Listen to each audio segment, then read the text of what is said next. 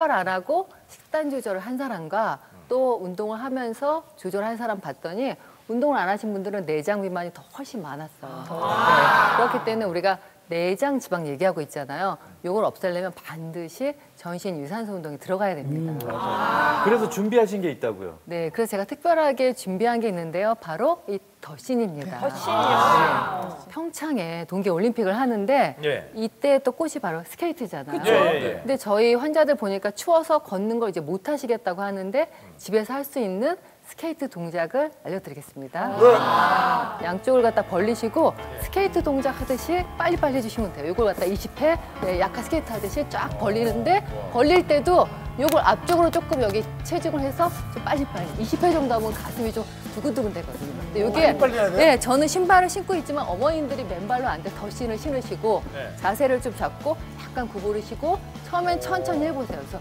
이렇게 되면 그다음 우리가 심박동이 좀 돼야 되거든요. 힘들어 보여요. 그러니까 더신을 이게 쓰는 이유는 부드라서 네, 이렇게 계속해서 하다 보면은 생각보다 가슴이 심박동이 되고 네, 이게 많이 하다 보면 좀 땀이 나세요. 더신을 신는 이유는 좀 미끄러지라고 그렇게 신는 그렇죠. 건가요? 더신이나 수면 양말 있죠.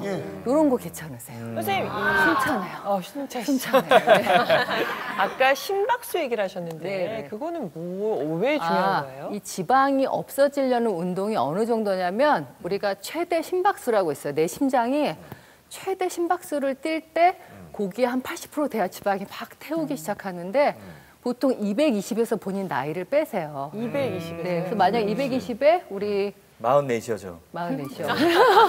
그러면 이제 거기 한 176. 170, 76. 그렇죠. 예. 그게 한 80%면 한 120, 30 사이가 되고 예. 기현 마찬가지 거기에서 하나 덜 빼면 돼요. 그렇죠. 그러면 그러니까 177. 7. 그래서 지금 차신 게 본인의 심박수거든요. 네. 몇 나오세요? 지금 지금 현재 91이요. 91. 네. 저는 72요. 네.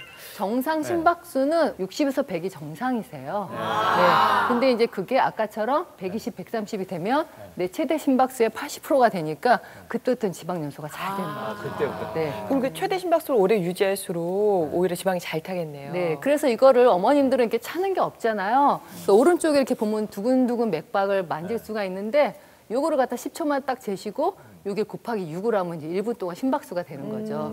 근데 요것도 번거로우면 저는 설명할 때 이렇게 저처럼 요게 내 최대 심박수 한 70% 돼요. 네, 그러니까 운동을 이렇게 하시면서 옆 사람 말 못할 정도로 힘들다. 그게 최대 심박수인 겁니다. 그러면 최경 아나운서 한번 저거 한번 해볼까요? 해볼까요? 네. 이 중에 누가 최대. 심박수가 빨리 올라가는지 좀 더 빨리 이제 예, 좀 빠르셔야 돼요. 네. 너무 잘하시는데.